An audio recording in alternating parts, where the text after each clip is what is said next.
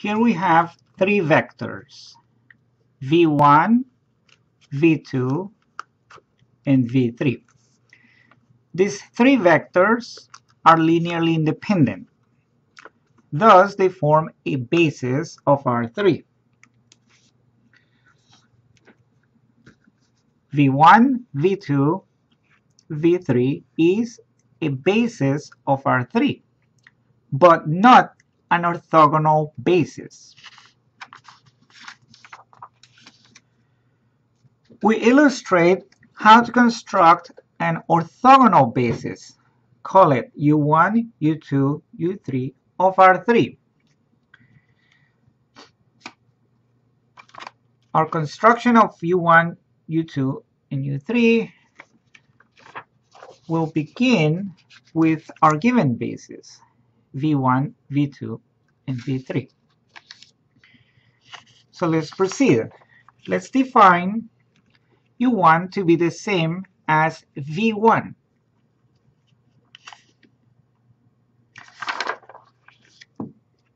On the plane that contains U1 and V2, obtain the orthogonal projection of V2 onto U1.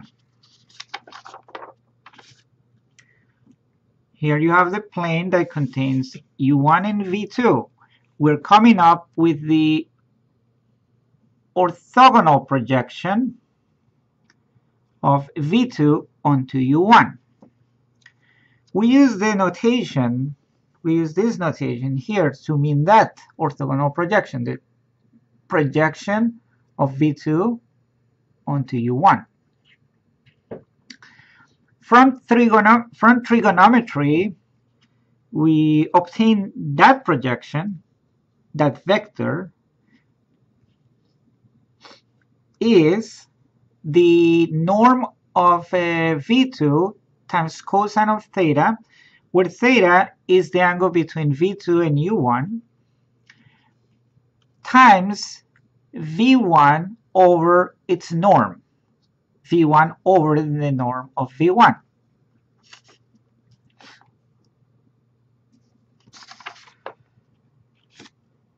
Upon establishing that the inner product of a V1 and V2 is the same as the norm of V1 multiplied by the norm of V2 times cosine of theta, we will obtain that projection, the projection of V2 onto U1 is the same as the inner product of V1 and V2 over the norm of V1 squared times V1.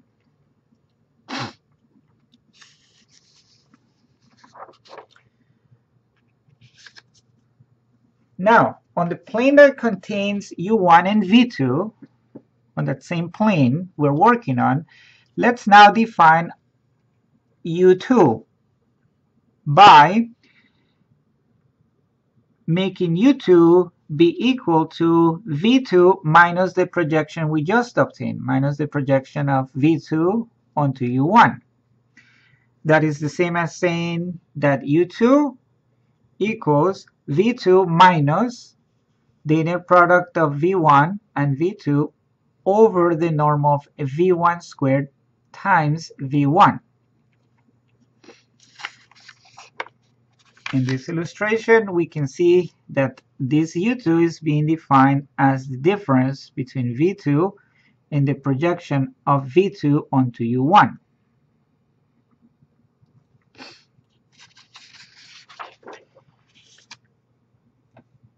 So what do we have?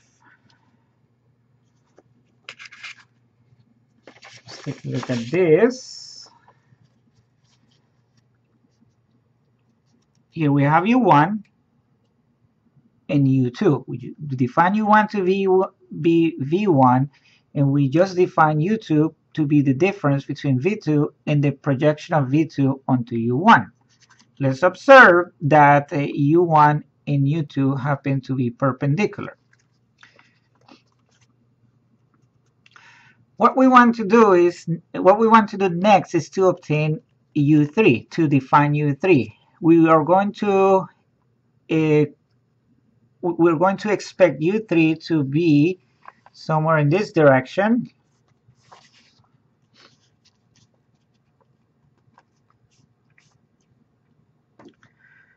So let's proceed. On the plane that contains U1 and V3, obtain the orthogonal projection of V3 onto U1.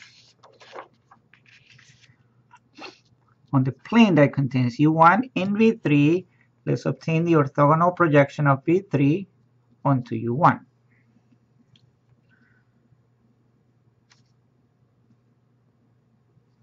So what's going on now is is this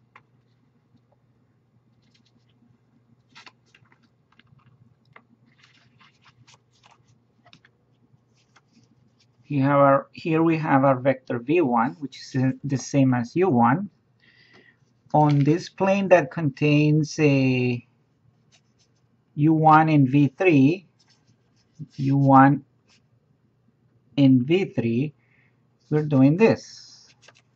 We're coming up with the orthogonal projection of V3 onto U1. You can see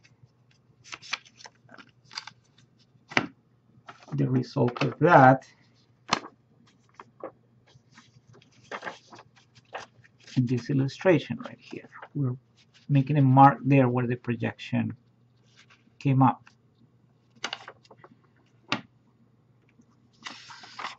Now, on the plane that contains U2 and V3, do something similar. Obtain the orthogonal projection of V3 onto U2.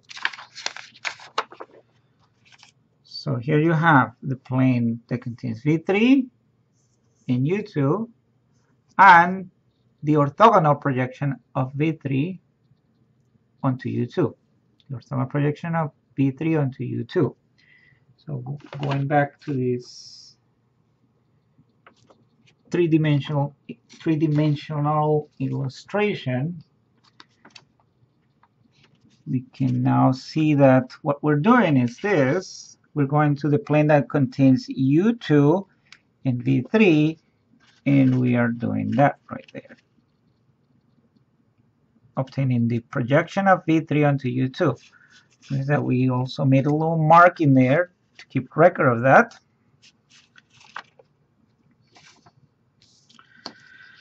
We're about to define U3. The way we're going to do that is, let's uh, make the observation that the, the if we add the projections of V3 onto U1 and V3 onto U2, if we add them up we get this resultant right here that's illustrated right here. As it turns out, that resultant is the same as if we did the following. Here is our vector v3. And there is our plane containing u1 and u2. If we were to come up with the projection of v3 onto that plane, that's what we would obtain. The resultant of the addition of the projections of V3 onto U1 and projection of V3 onto U2. It does take a geometric argument to establish that this resultant is in fact the projection of V3 onto that plane containing U1 and U2. So let's summarize what we just said. Define U3 by U3 equaling V3 minus the projection of V3 onto U1 minus the projection of V3 onto U2. We can formulate the projections as follows. The projection of V1, uh, uh, the projection of V3 onto U1 is a U1, the inner product of U1 and U3 over the norm of u1 squared times u1. The projection of v3 onto u2 is the same as the inner product, product of u2 and v3 over the norm of u2 squared times u2. So finally we have that u3 is the same as v3 minus the inner product of u1 v3 over the norm of u1 squared times u1 minus the inner product of u2 v3 over the norm of u2 squared times u2. Here's an illustration. You have the project the sum of the projections of v3 onto u1 and v3 onto u2. We're subtracting those from v3 to obtain u3. Uh, so there's your u3 and that's what we did to define it. We took uh, the projection of a v3 onto u1 plus the projection of v3 onto u2 we subtracted their sum from v3 and that gave us u3 let's uh, observe that u1 u2 and u3 form a basis of R3 and that they are mutually perpendicular. Notice that uh, the U1 and U2 are per perpendicular.